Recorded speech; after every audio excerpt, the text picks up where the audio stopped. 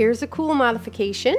Here's the broomstick. We've been working with these. I love them, but they're a little sharp and so on. So one of my followers made this suggestion. And if you are watching, would you please comment below? Because I get so many comments. I wasn't able to find the picture you sent me with the, the pool noodle on the broomstick.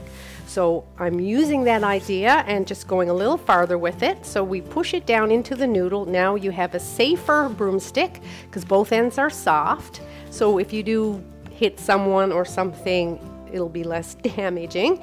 Um, the other nice advantage is that you get a really nice grip. So you can really squeeze with your hands. You can actually go this direction or you can bring them around depending on whether you're pulling the arms apart or pushing them together.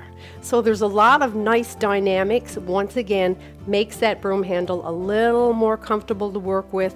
You get to use more hand strength. Anyway, great, just try it.